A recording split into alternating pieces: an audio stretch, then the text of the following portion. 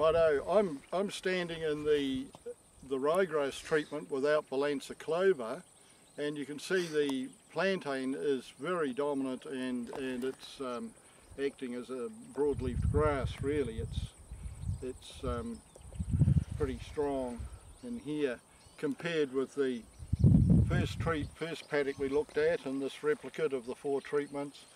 So here's the, the cocksfoot with Balansa and the, the cocksfoot's pretty strong there. It's a wee bit of a camping effect near the fence, but you can see in um, since the last grazing, four, three or four weeks ago, the cocksfoot has really boomed away again.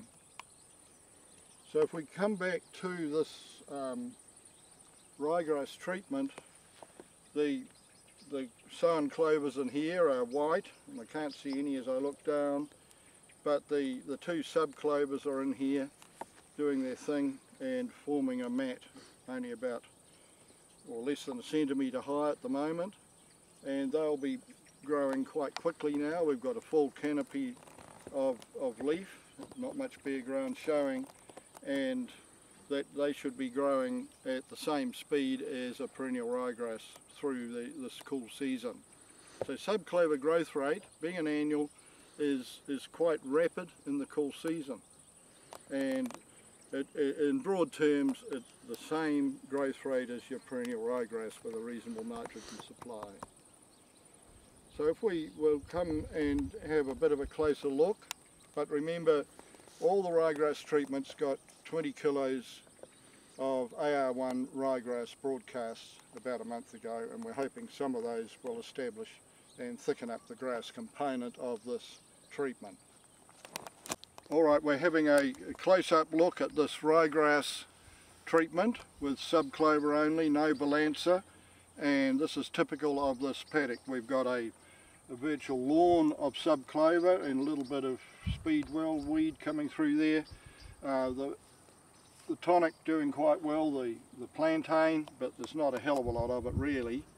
If this quadrat here is 0.2 of a metre squared, we've got one, two, three, uh, about five plants there, multiply that by five. There's about 25 um, plantain plants per metre squared and probably that's not, not too bad.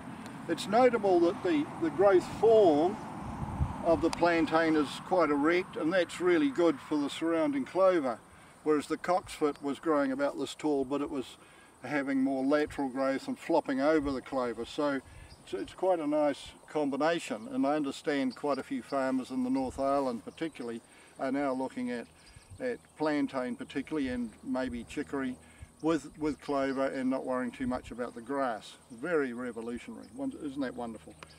Okay, well here we've got this worry with the grass and we've got the bigger plants will be the fescue lolium hybrid and we're hoping some of the, that looks like a ryegrass to me, but we're hoping some single tilled things here might be German, no there's a, there's a few little guys there that will be, we hope, the AR1 ryegrass germinating.